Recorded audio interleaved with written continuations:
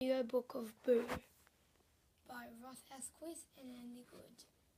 My mum said to me today, You silly little moose, you're so shy you wouldn't say boo to a goose.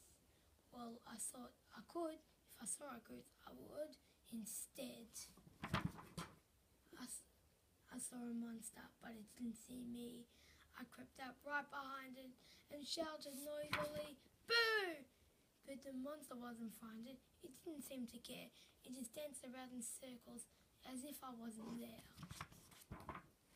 Then I found a tiger, or thought I had at least. So I snuck up softly to, to the huge, fearsome beast.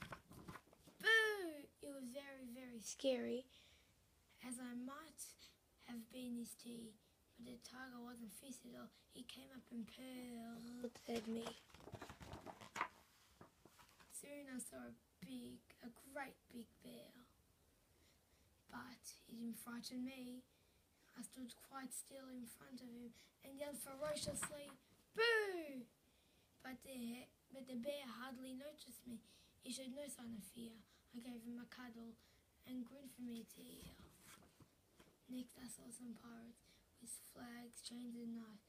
I thought I'd make those pirates run for their lives. Boo! I really scared those pirates. They vanished right away. Shame, I would have liked to play.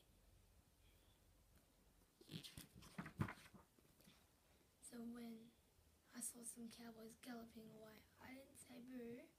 I said, please stay. Can I play? But they all said, go away. Boo hoo.